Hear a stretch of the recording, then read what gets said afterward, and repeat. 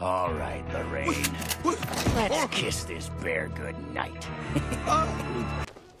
Enough calm!